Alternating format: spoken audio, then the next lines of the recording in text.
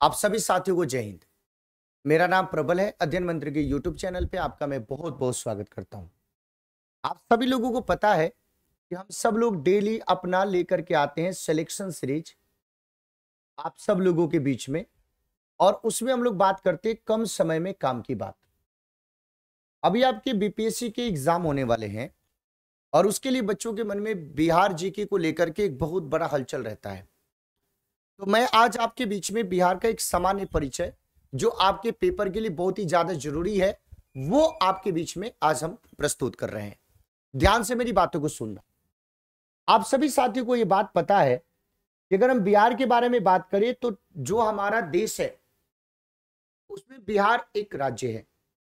Total अट्ठाईस राज्य अभी के समय में जम्मू कश्मीर के केंद्र शासित प्रदेश बनने के बाद उस बिहार के अगर बारे में डिस्कशन करें तो बिहार का लोकेशन आप देखिए।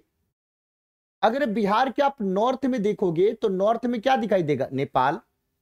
अगर आप वेस्ट में देखोगे तो उत्तर प्रदेश। ईस्ट में देखोगे तो वेस्ट बंगाल और आप साउथ में देखोगे तो झारखंड आपको दिखाई देगा। यानी बिहार के नॉर्थ में नेपाल, आपके ईस्ट में वेस्ट बंगाल और आपके वेस्ट में कौन सा दिखाई देगा? यूपी और नीचे कौन सा दिखाई देगा? झारखंड। और ये अपने इंटरनेशनल बाउंड्री किसके साथ शेयर करता है भाई? नेपाल के साथ करता है। तो यानी भारत के में राज्य बिहार के बारे में बात करें तो तीन राज्यों के साथ ये अपनी बाउंड्री को शेयर करता है यूपी के साथ वेस्ट बंगाल के साथ झारखंड के साथ, और एक इंटरनेशनल बाउंड्री शेयर करता है नेपाल के साथ। आपने बोला कि सर, ये बात हम समझ गए। लेकिन अगर हम बात करें कि सर, बिहार भारत के कौन से भाग में स्थित है? तो भारत के पूर्वी भाग में। लेकिन अगर हम एग्जैक्टली बात करें तो हम ऐसे कह सकते हैं कि बिहार जो है, भारत के उत्तर पूर्वी आपके राज्य के तौर पे हम इसको देख सकते हैं। तो उत्तर पूर्वी राज्य के तौर पे आप इसको देखिए। फिर उसके बाद, अगर हम बिहार के लेटीट्यूड और लॉन्गिट्यूड के एक्सपांशन के बारे में बात करते हैं, यानी बिहार का जो अगर हम अक्षांशीय विस्तार के बारे में बात करें तो 24 डिग्री 24 डिग्री 20 मिनट 10 सेकेंड उत्तरी अक्षांश से शुरू होता है। 27 डिग्री 31 मिनट 15 सेकेंड उत्तरी अक्षांश पे खत्म हो जाता है। ये बिहार की उत्तर से दक्षिण आपकी क्या दिखाई देता है भाई विस्तार दिखाई देता है। अक्षांशीय विस्तार जिसको हम कहते हैं। अब आता है भाई, इसका देशांतरीय विस्तार बताइए। यानी पूरब से पश्चिम पश्चिम से पूरब। तिरासी डिग्री 19 मिनट 50 50 सेकेंड। पूर्वी देशांतर से आपके शुरू होता है। अठासी डिग्री 17 मिनट 40 सेकेंड। पूर्वी देशांतर पे जाकर के खत्म हो जाता है। ठीक है? लेकिन अब आप लोगों का यही पे सवाल है, नॉर्थ से साउथ कितनी लंबाई है और ईस्ट से वेस्ट कितनी लंबाई है? आपने बोला कि सर, अगर हम बिहार राज्य के बारे में बात करें तो पहले तो इसका अस्तित्व नहीं था। हमने बोला, बिल्कुल सही बात है। 22 मार्च को हम लोग बिहार दिवस मनाते हैं। क्यों? क्योंकि 22 मार्च बिहार ओडिशा के साथ एक राज्य के रूप में आपके अस्तित्व में आया था। 1911 के दिल्ली दरबार में इसकी घोषणा हुई और 22 मार्च 1912 से बिहार एक राज्य के रूप में आपके काम करने लगा। इसीलिए हम सब लोग प्रत्येक साल बिहार दिवस को 22 मार्च को हम लोग मनाते हैं। बिहार दिवस को 22 मार्च को हम लोग मनाते हैं। अगर हम बिहार में बात करें तो बिहार में टोटल अगर आप प्रमंडलों की संख्या की बात करें, डिवीज़न जो आपको दिखाई देता है, जो राज्य की जो प्रशासनिक इकाई है, राज्य को प्रमंडल में बांटा है, प्रमंडल को जिला में, जिला को अनुमंडल में, अनुमंडल को प्रखंड में, प्रखंड को हमने पंचायत और उसी तरीके से एक होगी पंचायती राज व्यवस्था और एक होगी अर्बन बॉडीज। तो अगर हम टोटल सिटीज़ के बारे में अगर हम बात करें अगर हम टोटल सिटीज़ के बारे में बात करें तो बिहार में टोटल कितने शहर है भाई? एक सौ निन्यानवे शहर के रूप में आपको आता है। लेकिन बिहार में प्रमंडल की संख्या की बात करें तो टोटल डिवीज़न बिहार में कितना है भाई? तो टोटल नौ है। अगर हम टोटल डिस्ट्रिक्ट के बारे में बात करें, अरवल के बनने के बाद, जब झारखंड अलग हुआ था, उस समय सैंतीस। अरवल के बनने के बाद टोटल अड़तीस ज़िले हैं। अगर हम अनुमंडल के बारे में बात करें तो टोटल 101 अनुमंडल है। टोटल अगर हम आपके कम्युनिटी डेवलपमेंट ब्लॉक यानी प्रखंड के बारे में बात करें तो पाँच है। पंचायत के बारे में जब हम बात करें तो आठ ये जो मैं आंकड़ा प्रस्तुत कर रहा हूँ, ये बिहार सरकार के जो ऑफिशियल वेबसाइट है, उसके अकॉर्डिंग मैं आपको दे रहा हूँ।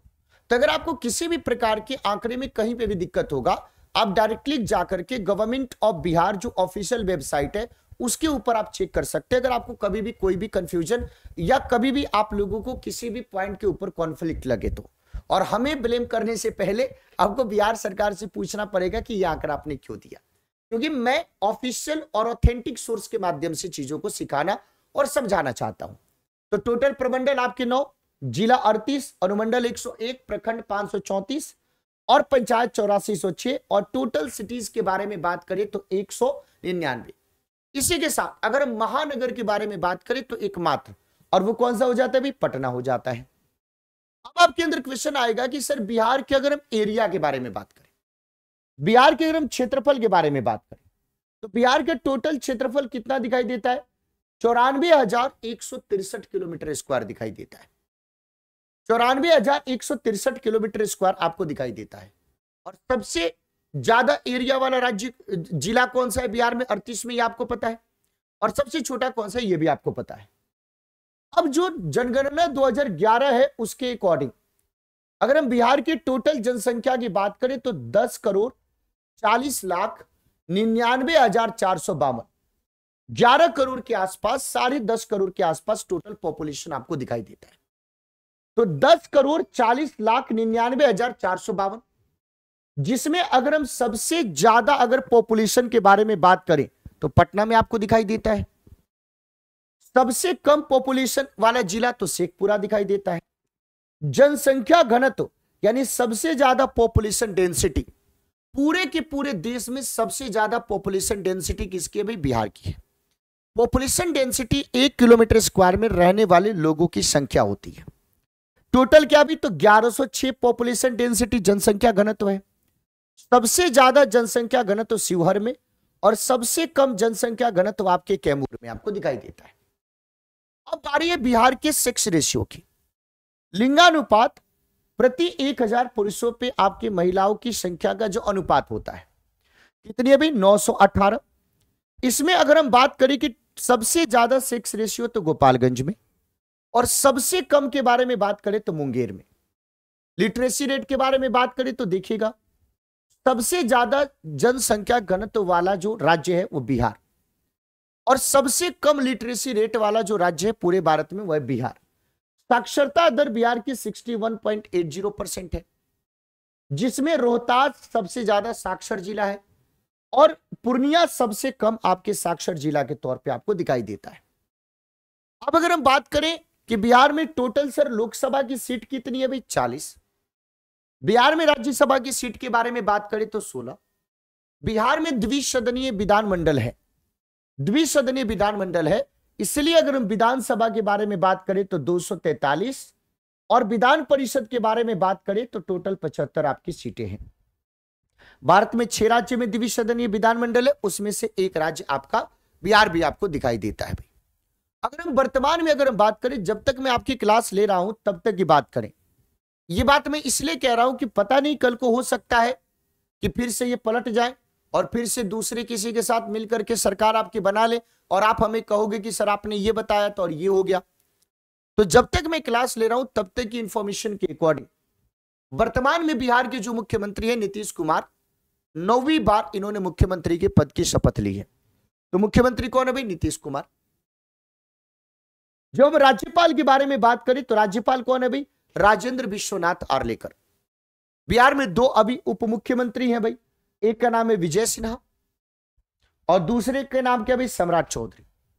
अगर बिहार के शिक्षा मंत्री के बारे में बात करना चाहते हैं तो उनका नाम क्या विजय चौधरी। ठीक है भाई, इसके बारे में आपको क्लियर हो गया, कहीं पे भी कोई दिक्कत की बात नहीं है। तो जब भी इसके बारे में पूछा जाए तो आप बता दोगे। और ये बिहार के टोटल आपके ज़िले हैं। टोटल आपके डिस्ट्रिक्ट आपको दिखाई देता है, जो टोटल आपके अड़तीस है।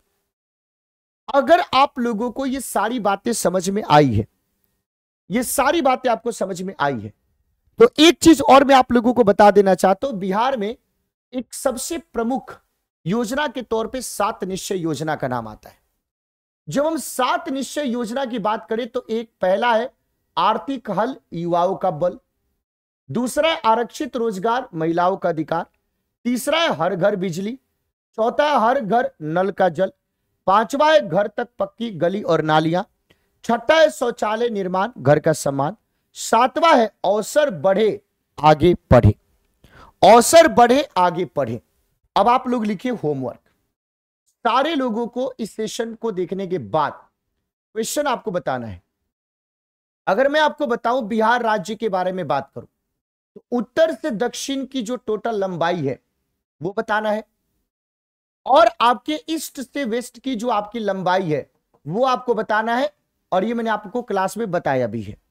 तो बिहार, उत्तर से दक्षिण तक की टोटल लंबाई कितनी है, और ईस्ट से वेस्ट तक की टोटल लंबाई कितनी है, एक तो बात ये हो गई।